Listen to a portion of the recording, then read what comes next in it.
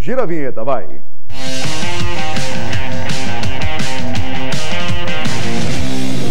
Ah, sabia que tem muita gente que fica esperando esse momento? É, espera esse momento no Balanço Geral para ver as notícias do esporte também. É legal, é bacana. Em maio, o Misto Esporte Clube completa aí 89 anos. Ê, Mistão! A história do Tigre se entrelaça aí com os demais times mato-grossenses. Faz parte dos 304 anos de Cuiabá, né, gente? Uma exposição foi aberta para contar, para celebrar essa data tão importante para o clube. E essa homenagem a gente vai ver agora aqui, ó, na tela do BG.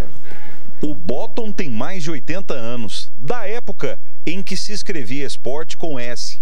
Pertencia a Emília, mãe de Rubens. Esse bottom pertenceu à minha mãe e ela era uma das torcedoras fanáticas pelo Misto Esporte Clube e esse bottom ela usava, como as outras amigas, na, nos jogos. E esse S, você vê, esse é pelo bottom, eu acredito que deve ter mais de 80 anos. Ele olhou com carinho as camisetas e fotos que documentam os 88 anos de história do Misto Esporte Clube no futebol, no vôlei e no basquete. Essa foto aí tem o tio Zenildo. Os dois à esquerda ali. É, os do meio, os dois do meio.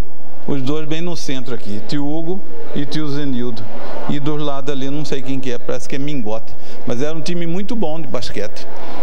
Excelente. O Misto Esporte Clube foi fundado em 20 de maio de 1934, aqui na rua 7 de setembro, centro histórico de Cuiabá, precisamente neste casarão colonial, onde era a gráfica e papelaria P. Foi fundado por Gastão de Matos, Nali e Avelino Guinei de Siqueira, Maria Malhado e Zumira Canavarros. A proposta era de criar um clube com entretenimento eclético, cultural e esportivo que agregasse homens e mulheres. Os dirigentes queriam colocar um clube que fosse contemplado pelos dois, né, masculino e feminino, então por isso que é misto.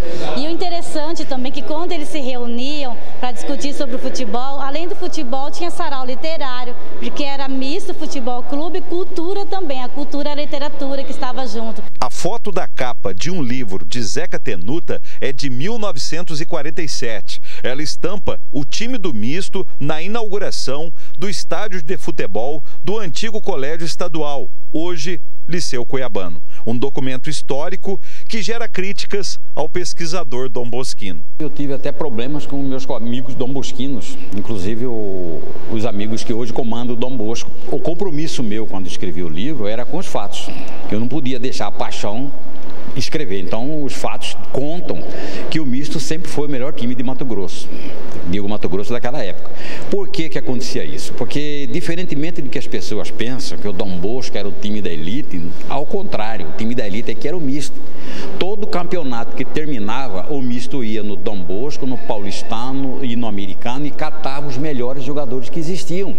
O misto era sempre uma seleção da cidade. As três camisetas do misto ao lado do pôster do time emoldurado, pertenciam à falecida mistense Barbina, mas inicialmente foram repassados ao operariano Satu. Eu fui procurada pela filha de dona da, da Barbina, me procurou na minha exposição tricolor que eu fiz lá no shopping para doar todo o acervo da Barbina para mim. Aí eu falei para ela, nós vamos, vamos fazer melhor, eu vou ligar para um historiador do misto, nós vamos com ele, vai doar para ele, porque vai ser mais interessante para o misto. As histórias dos times matogrossenses se entrelaçam com a do Tigre, como também com a de Cuiabá. O time misto, é tradicionalmente cuiabano, faz parte da história dos 304 anos de Cuiabá. Não poderíamos deixar de homenageá-los, esse time, grandioso time que foi para os cuiabanos. Por isto, estudantes e professores visitaram a exposição e citam do misto, mas a gente aprende a cultura mato-grossense com a história do misto, né? Então, trazer eles e mostrar essas camisas, essa tradição do misto é maravilhoso.